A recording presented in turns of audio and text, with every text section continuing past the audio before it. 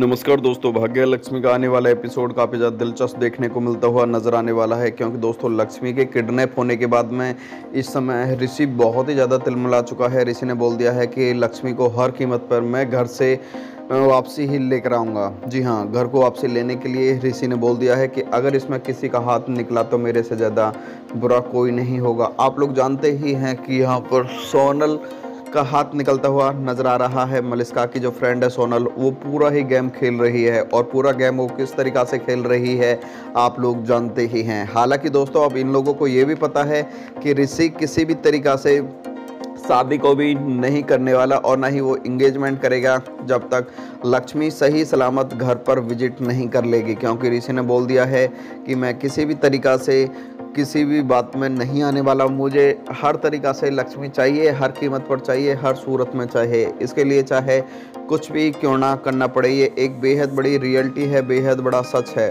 आप लोग जानते ही हैं कि आने वाली कुछ कहानी आप लोगों के लिए एक नहीं बल्कि समय कई और भी ट्विस्ट लाती हुई नज़र आने वाली हैं। बात की जाए इस समय की बड़ी अपडेट की तो दोस्तों, जल्दी ही आप लोगों के बीच में देखने को मिलेगा कि इसमें मलिस्का और मलिस्का की सहेली, यानी सोनल, इन लोगों का सबसे बड़ा हाथ निकलता हुआ नज़र आएगा, जिसके बाद में लक्ष्मी एक्सपोज करेगी, क्योंकि लक्ष्मी को पता है कि किस तरीक़ा से कैसे एक्सपोज करना है।